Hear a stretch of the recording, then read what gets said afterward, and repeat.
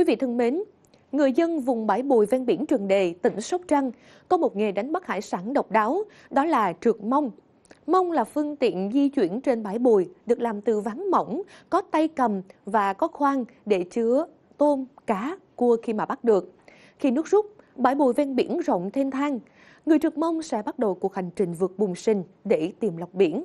Không chỉ là sinh kế, mà gần đây, nghề trượt mông còn được tổ chức thành giải đua thường niên của huyện Trần Đề. Tuổi ngoài 80, ông Lâm Xương đã gắn bó với chiếc mông hơn 60 năm. Giờ chân đã mỏi, nhưng đôi tay vẫn còn đủ khỏe để làm ra dụng cụ cho lớp trẻ theo nghề.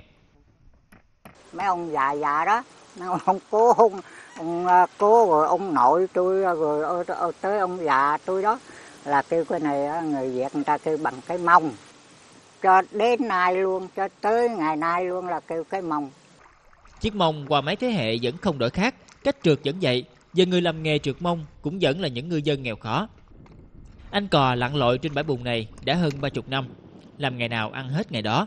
Nhưng bãi bồi thênh thang này là nơi anh bỏ lại phía sau những muộn phiền của đời ngư dân thiếu trước hụt sau buồn ở chung gia đình hoặc khi mình đạp uh, biển ra ở ngoài khơi rồi uh, hứng gió mát rồi thấy những cái cảnh biển nó rộng rãi rồi nó mênh mông rồi thấy con người nó thoáng mát rồi nó thoải mái nó cũng không còn buồn nữa.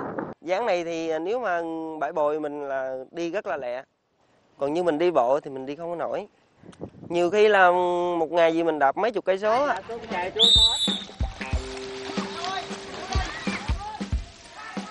được coi như nghề truyền thống của địa phương.